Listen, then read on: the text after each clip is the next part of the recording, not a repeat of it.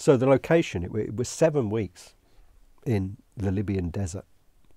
A lot of it under canvas, some of it in Tripoli, where they got some transport from the Italian army and they used some Italian technicians on the shoot.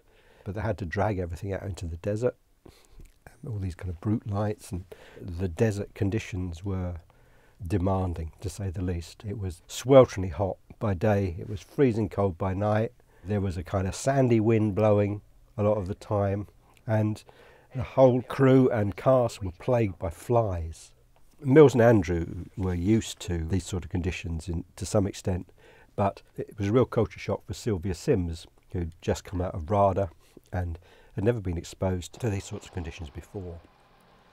And she still recalls it. I mean, it, it was a, something of a traumatic experience for her, not least because at one point in the film uh, she was nearly seriously injured when the ambulance rolling down a hill nearly rolled over her. She had to dive out of the way. And she still thinks that uh, Lee Thompson should have taken more care in this, but he got what he wanted in terms of her performance because she was generally frightened